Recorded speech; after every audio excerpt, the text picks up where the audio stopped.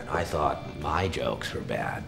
Give me one reason why I shouldn't have my boy here pull your head off. How about a magic trick?